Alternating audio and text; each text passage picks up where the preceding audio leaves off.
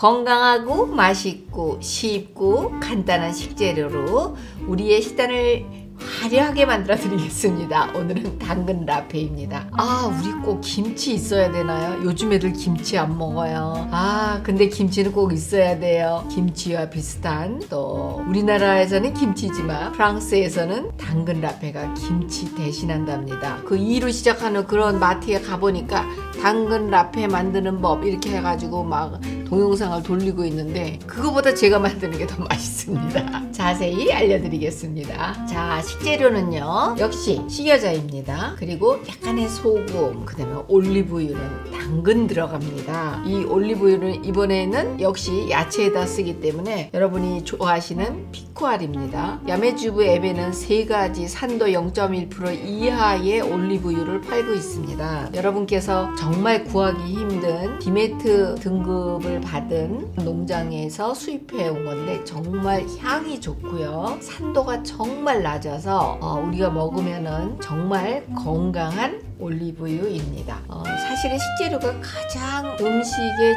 중요한 자리를 차지하는 것 같아요. 내가 어떤 재료를 사용하냐에 따라서 음식의 급이 달라지는 것 같아요. 그래서 이런 우리가 특별한 것들은 조금 여러분 투자를 하세요. 그러면은 식단이 정말 고급진 어느 식당에 가도 맛볼 수 없는 그런 음식을 만들어낼 수 있습니다. 당근 라페는 그냥 이름 그대로 당근만 가지고 하는 겁니다.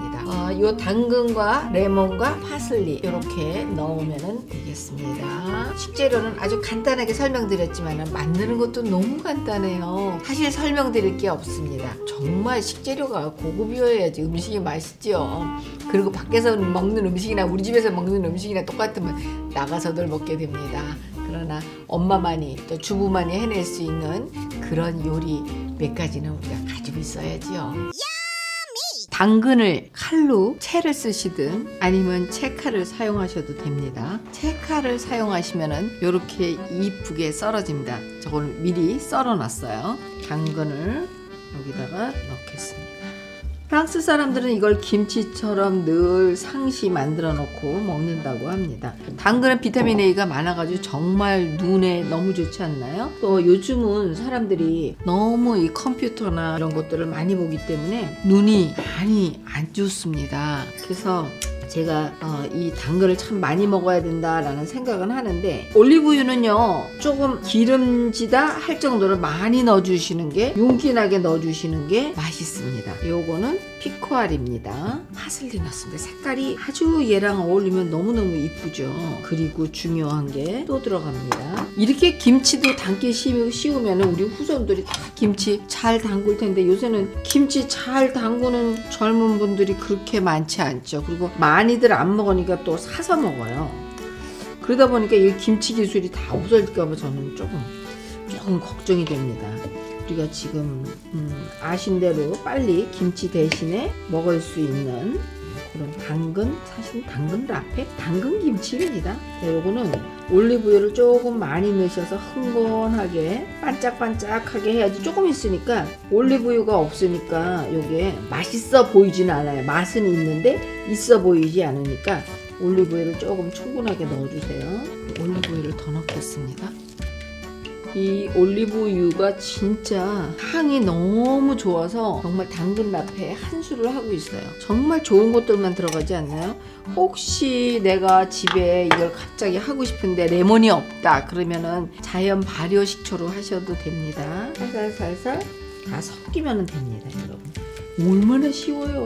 사실 근데 이런 음식들을 해놓고는 또 안 먹던 음식이라서 이걸 어떻게 먹지 이러고 고민을 할 때가 있어요. 그래서 제가 어디에다 응용할 수 있는지 그것까지도 여러분들에게 알려드리겠습니다. 친절하신 야매주부입니다. 와 이렇게 쉽습니다. 벌써 다 완성했습니다. 요새는 필수로 식탁에서 빠지지 않는 그런 식재료가 되었습니다. 당근을 많이 먹는 방법이에요.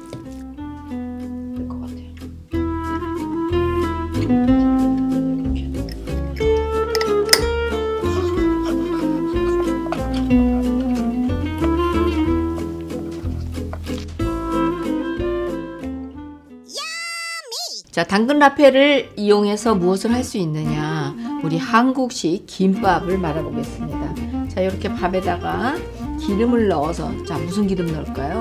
꼭 참기름 넣어야 될까요? 아닙니다. 어차피 올리브유로 만든 당근 라페이기 때문에 올리브유를 넣어서 밥을 김밥을 말아봅니다. 뭐 참기름도 엄청 좋은 기름이에요. 그리고 들기름도 엄청 좋은 거죠. 자, 그러나 우리는 어차피 지금 올리브유로 시작을 했으니까 밥 한 공기를 여기다 다 넣겠습니다. 아, 그분들 아주 기술적으로 잘 하시는데 저는 그런 기술은 없어요. 그냥 우리 옛날에 엄마들이 해줬던 대로 두껍게 밥 넣어가지고 밥 한 그릇 먹는 그런 식입니다.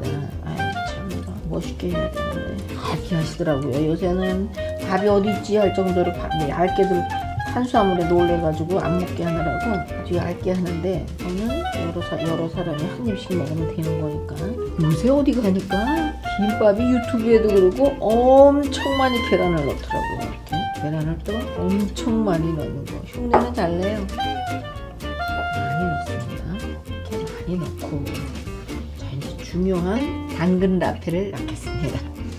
이것도 쫙 펴서 왜냐 여기다 놓으면 또 젖을 밥이 젖을까봐 제가 이렇게 해서 먹으면은 뭐 당근 어차피 김밥에 당근 들어가잖아요.